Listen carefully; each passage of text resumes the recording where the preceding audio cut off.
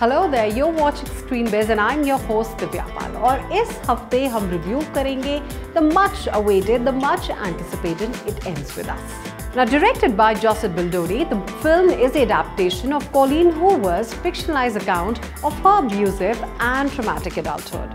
Interestingly, director Justin भी play करते हैं इसमें बहुत ही अहम किरदार that of Ryle, जो कि हैं Blake Lively के character Lily के on-screen husband. And of course, we have Atlas, that's played by Brandon Sklenar, and that's Lily's former boyfriend. When you invest 30 minutes into the film, you understand the key relationships that matter to the film. Lily is not so pleasant bond with her father, her father's rude behavior towards her mother, and Justin Baldoni's perception about women when he says, Love isn't for me, lust is nice though.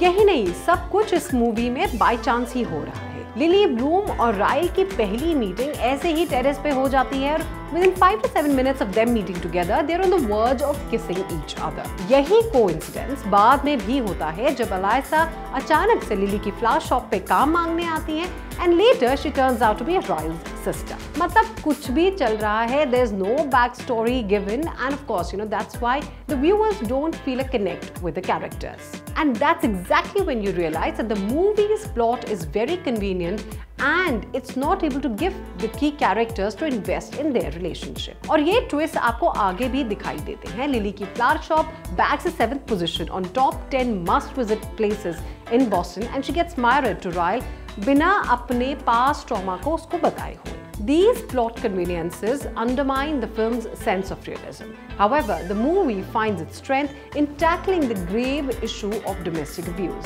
Despite this, the narrative's inability to thoroughly examine the nuances of trauma and its repercussions result in a story that feels somewhat lacking in depth. Blake Lively's character, Lily Bloom, is struggling with the recent death of her abusive father, for whom she can't seem to feel much sorrow. Instead, she focuses on marking her dream of opening a flower shop come true. When she meets Ryle, a neurosurgeon played by Justin, she initially mocks his name, but soon finds herself falling for him, breaking down both of their emotional barriers. However, a chance encounter with the old flame Atlas, which is played by Brandon Sklenar, brings back memories of her past and makes her realize that her current situation is darker than what she had actually imagined it to be. The film uses familiar soap opera cliches but deals with its theme in a surprisingly mature way. The film explores abuse in a more complex and detailed manner,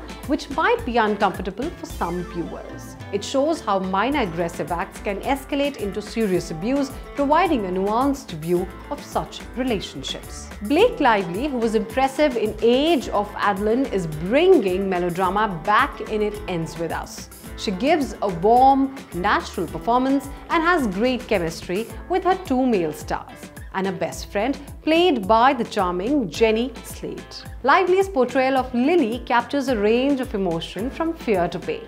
Baldoni's Ryle, while outwardly normal, becomes increasingly frightening as the story progresses. Hasan Minhaj, who plays um, Allysa's fiance, Marshall, does not have much to do. Of course, for whatever screen space he's given, he's natural, he brings in the fun element, and you wish he was given more screen time. Now, the film's most crucial lesson is that of loving your own self and knowing your own worth. While these lessons might seem a bit predictable and some darker parts could be explored more, the movie focuses on strong emotions and heartfelt moments. Our suggestion to you? Well, watch it, but don't expect it to be as good as the novel.